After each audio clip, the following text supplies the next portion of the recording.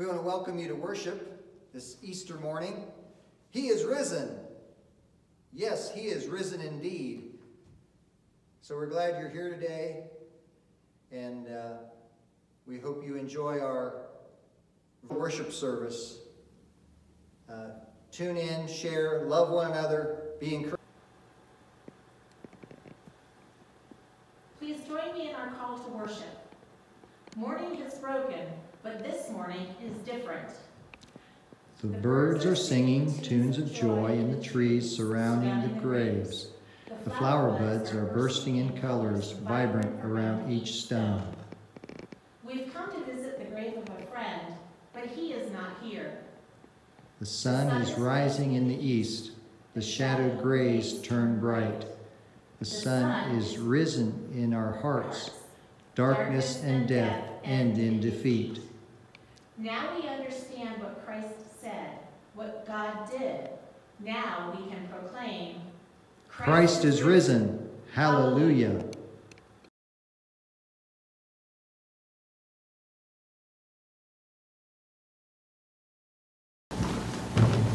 Colossians 1 11 to 14.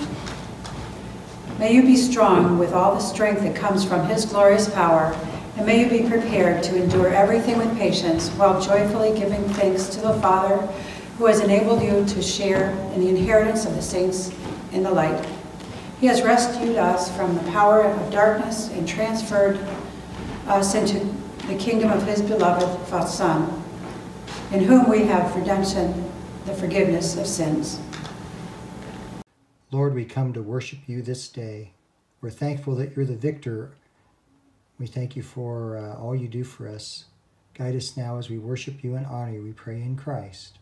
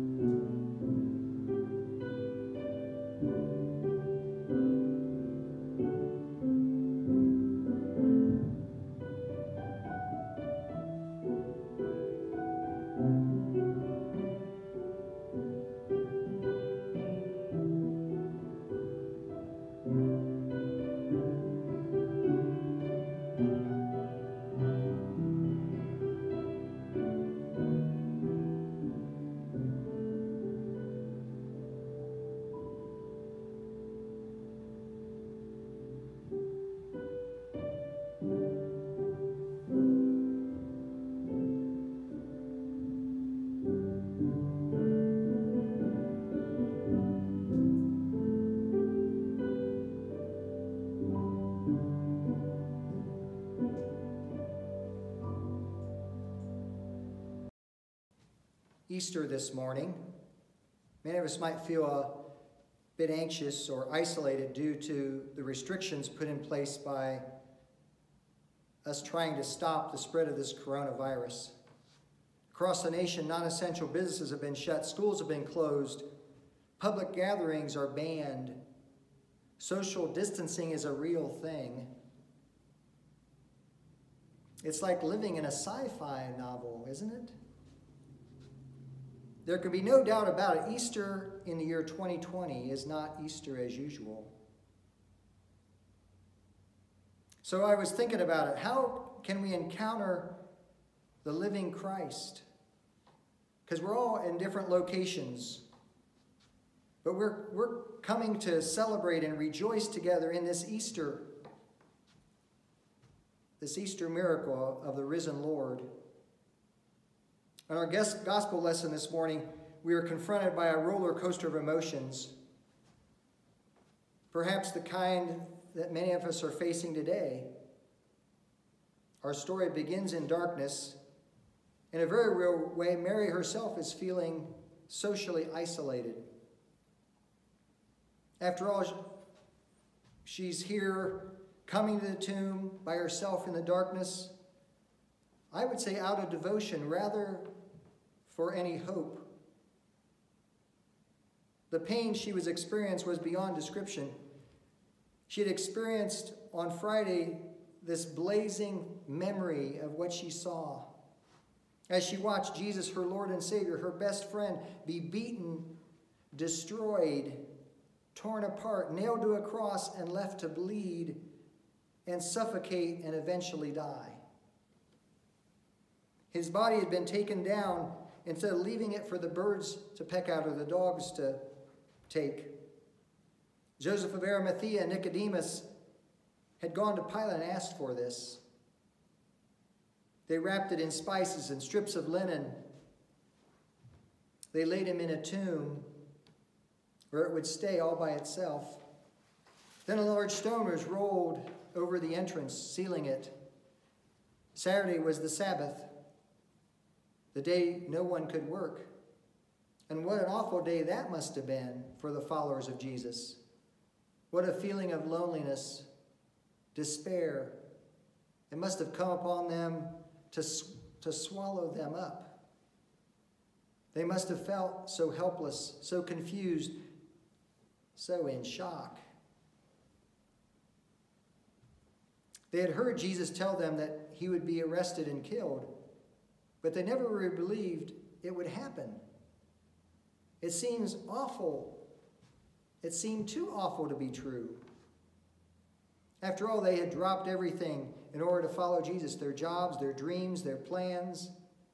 They had been with him for three wonderful years. They had heard him talk about God and watch him love in ways that no one had ever seen before. He had fed 5,000 people with a few fish and a couple loaves of bread. He had healed the sick, he raised the dead. He made the insane sane. He had become their hope in the midst of despair. He was miss the missing piece of their puzzle. And now he was dead and gone forever. How could they go on? Was life even worth living anymore? Can you imagine the darkness? Can you imagine the pain? Can you imagine the feeling of hopelessness and despair? Perhaps some of you can. Perhaps some of you are feeling that way this morning or during this pandemic. I just want to encourage you to be a people of prayer. Call out to God. I know during this time uh, I've been having some virtual pastoral gatherings using technology, some apps. And on Wednesday, some local pastors and myself, we gathered at the land and we stayed our distances, our six feet apart or more, but we lifted up many prayer concerns. We lifted up many needs, including our own personal needs. It was very meaningful to me, and I pray it was meaningful for those that participated. I actually know someone who has been diagnosed with the coronavirus. and I've heard of another. So that really brings it close to home. And we need to pray. We need to lift those folks up. We need to call out to God for them. All of us are living a new reality, aren't we, right now? We're living something we've never experienced before. TV anchors are broadcasting from their homes. People are walking in the streets with face masks. We aren't supposed to have parties. Our kids can't have friends over. The uh, entire world is a shelter in place kind of place. And for those who are alone, the feeling must be even more stark. Many of us are many of us experience most of our social interactions with family and coworkers and friends and church, and most of these things are not available to us, and we don't know when they will return. So, how do we celebrate the resurrection while many of us are isolated and anxious? Let's look at John 20, verses 1 through 20.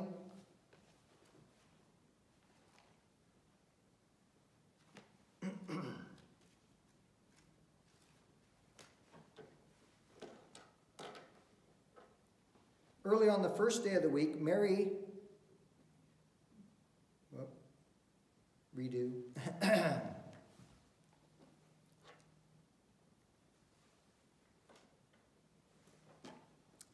so, John 20, verses 1 through 20. Early on the first day of the week, while it was still dark, Mary Magdalene came to the tomb and saw that the stone had been removed from the tomb. So she ran and went to Simon Peter and the other disciple, the one who Jesus loved, and said to them, They have taken the Lord out of the tomb, and we don't know where they have laid him. Then Peter and the other disciple set out and went toward the tomb. The two were running together, but the other disciple outran Peter and reached the tomb first. He bent down to look in and saw the linen wrappings lying there, but he did not go in. Then Simon, Peter came in, following him, and went into the tomb. He saw the linen wrappings lying there, and the cloth that had been on Jesus' head not lying with the linen wrappings, but rolled up in a place by itself. Then the other disciple who reached the tomb first also went in, and he saw and believed. For as yet they did not understand the scripture that he must rise from the dead. Then the disciples returned to their homes. Going on from verse 11. But Mary stood weeping outside the tomb. As she wept, she bent over to look into the tomb and saw two angels in white sitting there, sitting where the body of Jesus had been lying, one at the head, the other at the feet. And they said to her, Woman, why are you weeping? She told them, They have taken my Lord, and I do not know where they have laid him. When she had said this, she turned around and saw Jesus standing there, but she did not know what, that it was Jesus. Jesus said to her, Woman, why are you weeping? Whom are you looking for? Supposing him to be the gardener, she said to him, Sir, if you have carried him away, tell me where you have laid him, and I will take him away. Jesus said to her, Mary. She turned and said to him in Hebrew, Rabboni, which means teacher. Jesus said to her, Do not hold on to me, because I have not yet ascended to the Father, but go to my brothers and say to them, I am ascending to my Father and to your Father and to my God and your God. Mary Magdalene went and announced to the disciples, I have seen the Lord. And she told them that, that he had said these things to her. When it was evening on that day, the first day of the week, and the doors of the house where the disciples had met were locked for fear of the Jews, Jesus came and stood among them and said, Peace be with you. And after he said this, he showed them his hands and his side. The disciples rejoiced when they saw the Lord, Jesus, and said to them again, Peace be with you. Let us pray. Lord God, we're so thankful for your word, the story of the resurrection. We're thankful, Jesus, that you overcame sin, death, and the grave would you lift up the word in our heart? Send your Holy Spirit to minister to us. Help us to find your peace. All for your honor, we pray. Amen. so on that first morning, Mary Magdalene stood outside Jesus' tomb crying. She had come to mourn and to show her respects to the one who meant so much to her. But when she got there, the stone was rolled away and the tomb was empty. Not only was the, she empty and alone, so was Jesus' tomb. How could this be happening? Just when she thought things couldn't get any worse, someone or some group of persons came and stole his body. Oh, the imaginable darkness of it all. But then there was something else in there as well. As she wept, she bent down and looked inside the tomb one more time. And what she saw were two angels inside, sitting where the, Jesus' body had been, one at the head and the other at the feet. The angel asked Mary, Why was she crying?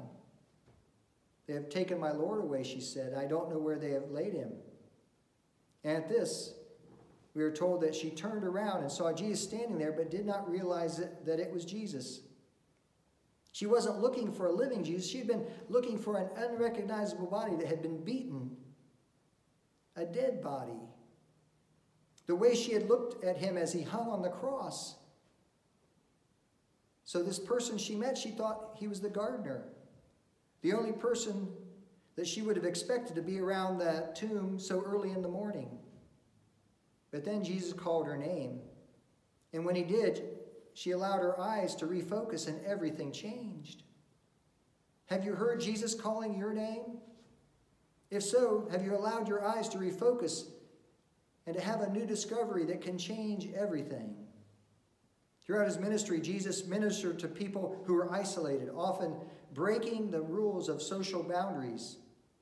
In Mark chapter 5, Jesus casts out the demons of a man who'd been in isolation from society.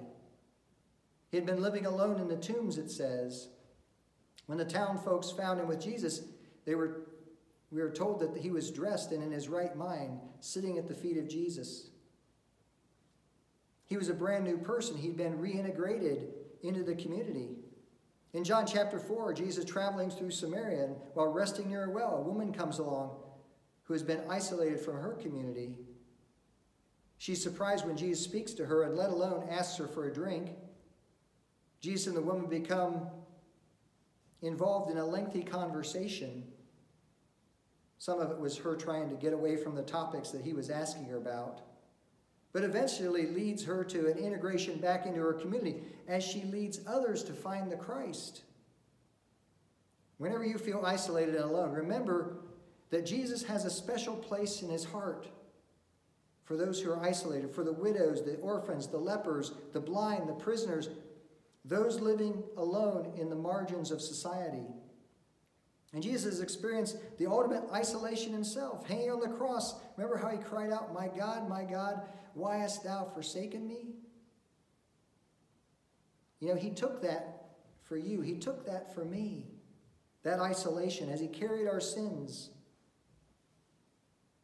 He can relate to whatever we're going through. He has compassion. He has empathy. So again, how are we to celebrate Easter in these isolated and anxious times? Well, as I read a little bit longer this Easter story this morning than I usually do, I want to move all the way from Easter morning to Easter evening. And we find on Easter evening that the disciples gathered behind locked doors, afraid, anxious, isolated. And they sequestered themselves, not for health reasons, but because for fear of the Jews that their leaders would come and take them away and do what had been to, done to Jesus.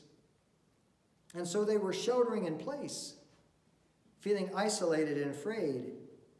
And then Jesus came and stood in their midst, and he said, Peace be with you. Then he showed them his hands and his side. And the disciples were overjoyed when they saw the Lord. They were feeling isolated and anxious Easter morning.